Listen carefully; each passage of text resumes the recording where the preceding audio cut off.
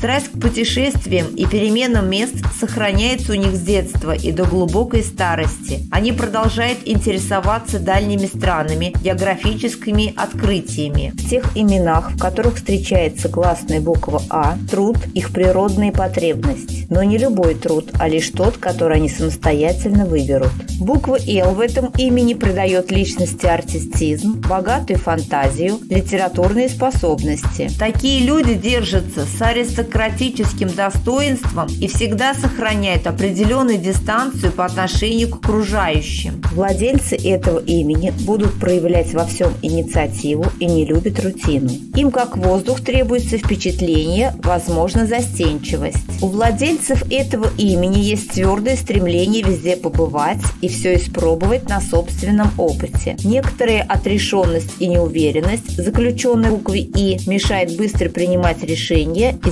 замедляет реакцию. Также стоит отметить, что эти люди сильно чувствительны к тому, что о них говорят другие. Если присутствует первая буква алфавита в этом имени, то оно постоянно будет стремиться к физическому и духовному равновесию. Звук «М» в имени воспринимается окружающими положительно. Внешне человек показывает практичность как ширмы для сокрытия романтической мягкой натуры. И тонкая духовность, чувствительность, доброта, миролюбие.